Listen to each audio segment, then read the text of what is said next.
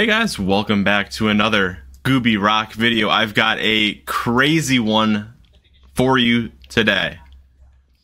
My first video on this KVK was that it is the weirdest KVK ever, and that is definitely still the case, uh, especially with events that evolved today.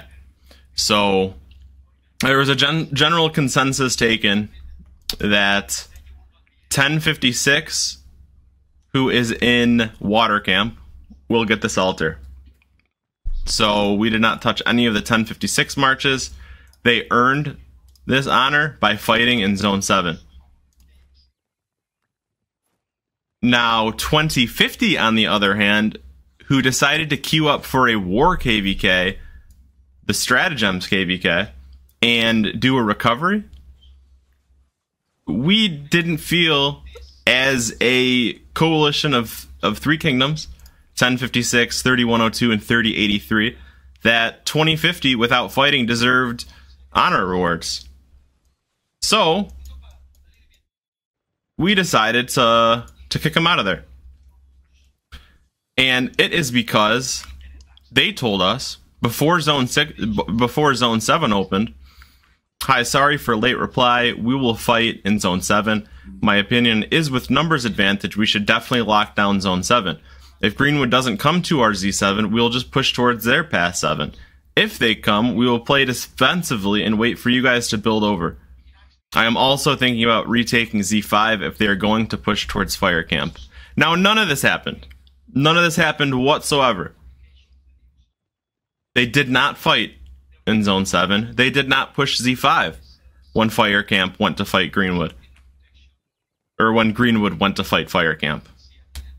So all of this was a lie. They they did not fight in Zone 7. They placed a fortress, they built some flags, and then they let everything free burn. We were trying to reach the leadership team the entirety of the Zone 7 fight. They all ignored us. We we tried Discord, we tried Rise of Kingdoms chat, our allies chat with them. We even tried reaching them in Lost Kingdom, like reaching, you know, their R3s and having their R3s reach out to their R4s, and we could not get them to even reply during the, the Zone 7 fight. So it was just straight up a lie. So now what happens due to this?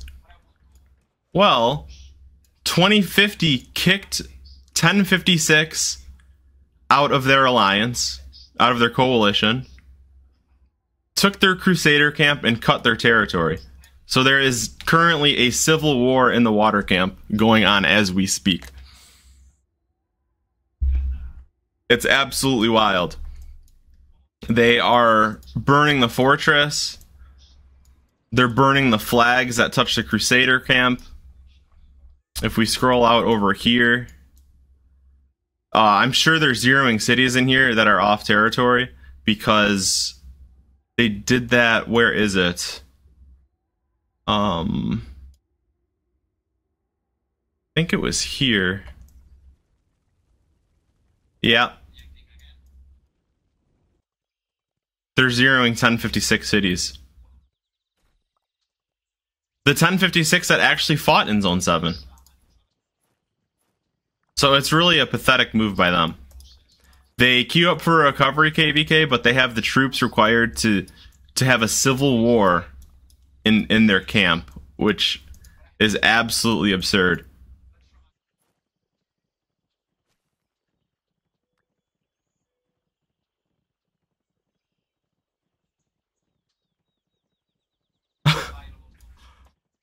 that is absolutely wild. I'm in the middle of a work day. 2050 lost OL and now lost all respect. Why do people from the same camp try to betray? It's meaningless. wow. People know me a little too well. 2050 are cooked now. Gooby make a clickbait video about 2050. Um, here goes another 50 rally. It's going to hit this city. I think this was headed for the 70 mil guy.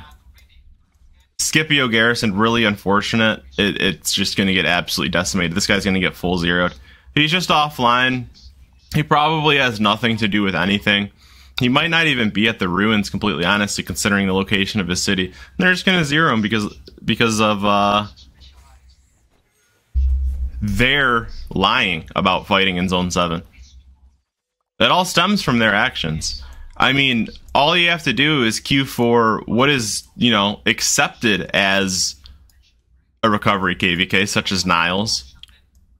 But instead they queue for stratagems, pick a pick a camp ally, and then do a recovery KVK. I mean, this is just honestly a disgusting kingdom, in all honesty. Look at this. All these players, I mean, they're all just sleeping or they're at work or at their or they're at school. They're going to log in tomorrow and their months of prod- progress is going to be wiped for absolutely no reason other than the fact that 2050 went back on their word. It's just really disgusting. This one's headed for what city I mean, it's just hilarious that they have the troops to rally cities like this, but they don't have the troops to participate in our KVK. I mean, it, it's just such a joke. Recovery KVK hitting cities looks great. New update by Lilith. That's exactly what I'm saying, dude. Like, that's wild.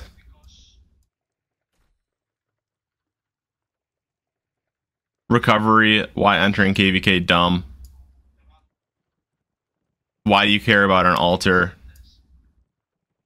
You all all guys already know that we're doing a recovery from the start. That was the case. And then we got this message on the 4th in our alliance Discord with Water Camp and Earth Camp and Wind Camp. They specifically told us that they were going to fight. And it was supposed to be a surprise. And it would have secured our Zone 7. We wouldn't have lost our fortresses.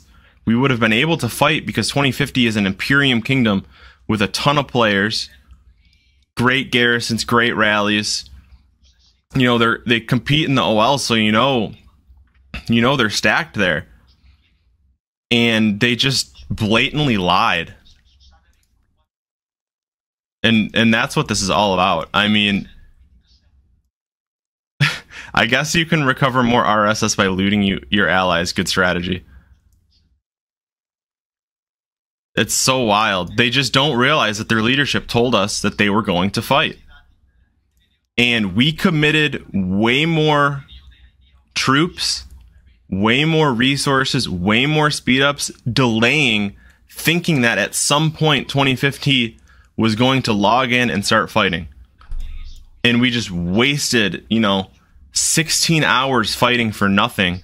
When if they would have just been upfront and honest with us, we, we would not have fought as hard in the zone.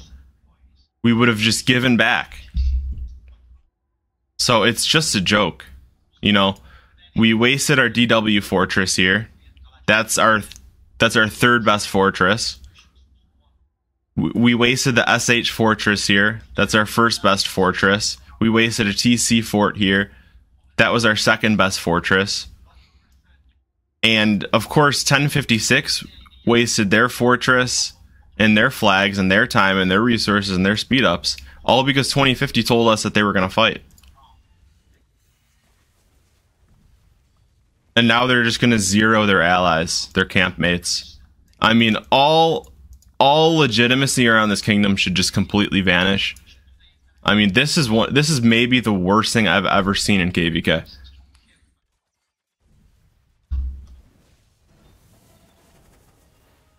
And like I said, it's not like they don't have the ability to fight. And it's not like it's not a winnable KVK. If you look over here, we have Kingsland. So, if they just would commit to fighting, there'd be no problem.